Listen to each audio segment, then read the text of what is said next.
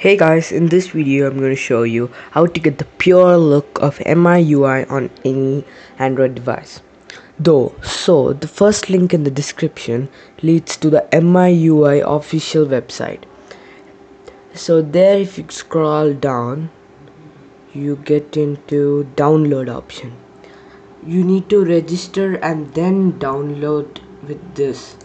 So and sometimes when you click on it, it'll tell please sign in and all. You need to sign in and all those stuff.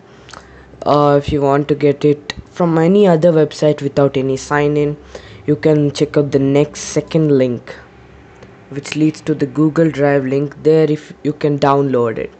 So here i've downloaded the application in my computer.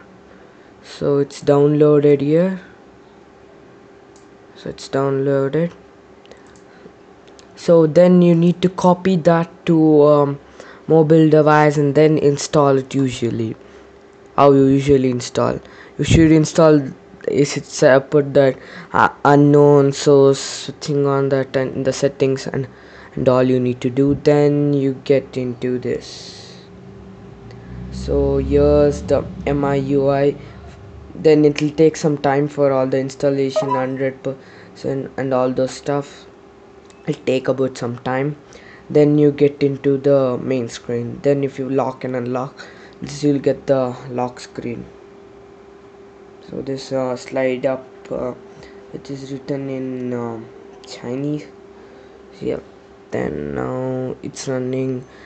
It's though you're running MIUI 6 so it's really smooth. So here I open it up and you get the MIUI thank you guys for seeing the video